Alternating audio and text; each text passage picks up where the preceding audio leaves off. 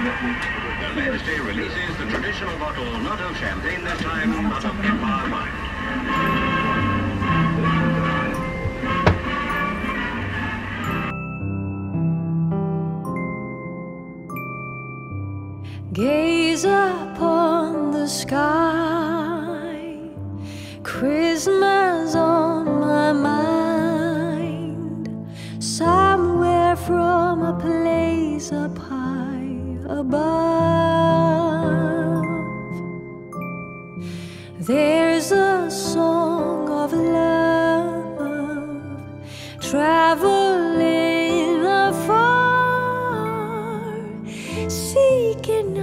just to warm up